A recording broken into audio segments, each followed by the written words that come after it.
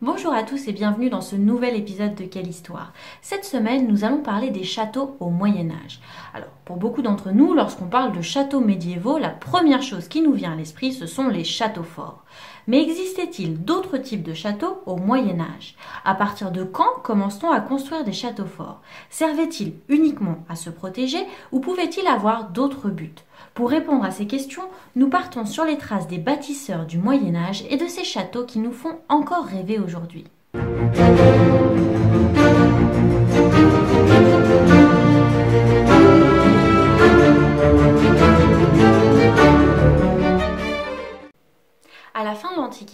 Les Gaulois construisaient déjà des places fortes appelées oppidum. Généralement, elles étaient construites en hauteur sur des collines et servaient à la fois comme symbole de pouvoir et comme lieu de refuge en cas d'attaque. Après tout, c'était assez logique de construire ces lieux fortifiés en hauteur, puisque cela permettait de voir venir l'ennemi, de rendre son attaque plus difficile, puisqu'il lui fallait grimper pour arriver jusqu'aux fortifications, d'autant plus que cela permettait aussi de leur lancer assez facilement tout ce qu'on voulait à la figure. Ces places fortifiées continuent d'exister au début du Moyen Âge, mais ce n'est qu'à partir du IXe siècle qu'apparaissent les tout premiers châteaux. On les appelle des mottes castrales. Pour les construire, on choisissait un endroit où le terrain était naturellement élevé. Sur une butte, on construisait la résidence du seigneur, les réserves de nourriture et d'armes. Le tout était entouré d'une palissade en bois et servait de refuge en cas d'attaque. La butte, que l'on appelle aussi motte, pouvait être naturelle si le terrain était assez escarpé, mais elle pouvait aussi être rehaussée par l'homme, voire même complètement artificielle. Au pied de la motte se trouvait une autre enceinte en bois, plus grande, entourée d'un fossé. On pouvait y trouver la chapelle, une grande salle, les communs, c'est-à-dire tous les bâtiments servant à la fabrication de la nourriture ou à l'artisanat, et bien sûr la garnison qui devait défendre le site. La partie construite sur la motte s'appelait la haute cour, tandis que l'autre partie, comprise dans la grande enceinte en contrebas, s'appelait la basse cour. Pour les relier, on pouvait construire une passerelle en bois qui pouvait être retirée en cas d'attaque. Ces modes castrales apparaissent à partir du IXe siècle pour plusieurs raisons. Pour commencer, le pouvoir des rois carolingiens s'affaiblit. De grands seigneurs émergent et développent leur pouvoir localement. Les conflits entre ces seigneurs entraînent le besoin de se protéger mais aussi de montrer qu'on occupe un territoire. Les modes castrales servent donc à la fois comme lieu de protection, symbole de pouvoir, mais aussi comme lieu d'habitation. À tout cela viennent s'ajouter les invasions scandinaves et sarrasines. Les raids vikings au nord et sarrasins au sud poussent le roi Charles de Le Chauve à promulguer l'édit de Pitre le 25 juin 864. Il y encourage la construction de forteresses pour lutter contre ces attaques. Puisque ces édifices étaient construits en bois, il est difficile d'en retrouver des traces aujourd'hui, car les bâtiments n'ont pas été épargnés par le temps ou ont été remplacés par des châteaux plus modernes. On en retrouve tout de même parfois quelques traces dans le paysage et les fouilles des archéologues permettent de redécouvrir les tracés au sol de certains bâtiments ou encore des objets utilisés par les habitants du site. C'est vers le Xe siècle que l'on commence à remplacer le bois par de la pierre.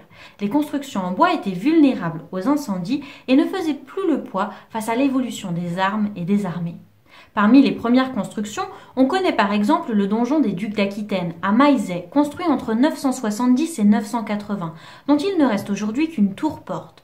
Le donjon de Foulquenera, à Langeais, daté de 994, ou encore le donjon de Loche, mesurant 37 mètres de haut, également construit sur l'ordre de Foulquenera, vers l'an 1000. Les modes castrales sont donc progressivement remplacés par de petites forteresses en pierre qui reprennent généralement une organisation similaire avec une haute cour comprenant un donjon au centre et une basse cour. Les tours en pierre font également leur apparition. Elles sont généralement de forme carrée et peuvent servir à renforcer les angles des remparts ou bien comme tour-porte, c'est-à-dire une porte d'entrée de la forteresse. Parmi les bâtiments qui composent ces forteresses, trois sont très importants. La grande salle du château pour célébrer les grands événements, la chapelle pour prier et la chambre du seigneur. Mais c'est le XIIe siècle qui marque le début de l'âge d'or des châteaux forts. Les murailles deviennent plus hautes et plus épaisses, avec en moyenne entre 2 à 3 mètres d'épaisseur. À Douvres, vers 1180, les murs du donjon font même jusqu'à 7 mètres d'épaisseur. La grande innovation du XIIIe siècle, c'est ce qu'on appelle les châteaux philippiens. Ils se nomment ainsi car ils apparaissent sous le règne du roi Philippe Auguste. À cette époque, la motte disparaît définitivement et le donjon ne se trouve plus au centre des fortifications mais le long des remparts, d'où il participe activement à la défense. Ce n'est plus forcément la résidence du seigneur, qui préfère maintenant habiter un logis plus confortable dans la cour du château, mais cela reste le lieu de refuge en cas d'attaque. Au niveau de l'enceinte du château, on voit apparaître des tours rondes, assez rapprochées les unes des autres, que l'on appelle tours de flanquement. Contrairement aux tours carrées, les tours rondes ne présentent pas d'angle mort, car elles peuvent être percées de meurtrières de tous les côtés. Elles sont aussi plus solides et plus difficiles à faire effondrer. On peut donc les placer à l'extérieur des remparts et non plus à l'intérieur. C'est ce que veut dire le mot flanquement. En dépassant à l'extérieur des remparts, ces tours permettent aussi de les protéger, en tirant par exemple sur les ennemis qui tenteraient de les escalader. Au niveau de la porte d'entrée du château, on peut construire un châtelet, c'est-à-dire des petites tourelles qui permettent de défendre l'entrée. Le pont-levis fait aussi son apparition. Il pouvait être protégé par une barbacane, un petit ouvrage de fortification avancé, souvent de forme circulaire, qui permettait de défendre un point important comme un pont ou une porte. C'est le cas par exemple au château de Montreuil-Bellay. Château Gaillard est l'un des châteaux les plus impressionnants de cette époque. Le roi d'Angleterre ordonne sa construction surplombant la Seine pour surpasser le roi Philippe Auguste. Pour le construire, il fallut pas moins de 6000 ouvriers, la moitié des revenus du duché de Normandie et beaucoup d'argent venu d'Angleterre. Tout cela a permis une construction rapide entre 1197 et 1198, soit en à peine un an. Mais le plan du roi d'Angleterre se retourna contre lui, car en 1204, Philippe Auguste parvint à s'emparer de la forteresse. Le roi de France, qui devait être humilié par la construction de ce nouveau château à la pointe de la technologie médiévale, n'en retira que plus de prestige lorsqu'il en devint le nouveau propriétaire. Au XIVe siècle, les premiers canons font leur apparition. Au départ, on cherche à adapter les châteaux à ces nouvelles armes. Certaines meurtrières, appelées canonnières, sont donc percées de cercles pour pouvoir les intégrer à la défense du château. Mais à partir du XVe siècle, l'utilisation de boulets de fer se développe, remplaçant les boulets en pierre. Ils font beaucoup plus de dégâts et ouvrent beaucoup plus facilement des brèches dans les murs. Les châteaux médiévaux sont donc très vulnérables à cette nouvelle artillerie. Jusqu'au XVIe siècle, certains architectes et ingénieurs cherchent à adapter les châteaux à l'évolution de ces nouvelles armes. Dans les Pyrénées ou en Bretagne, on abaisse par exemple les tours et les remparts pour mieux résister aux tirs rasants. Ailleurs, on construit des remparts pouvant faire 12 mètres d'épaisseur ou plus. À Fougères, on installe des canons sur des plateformes pour les utiliser contre les assaillants.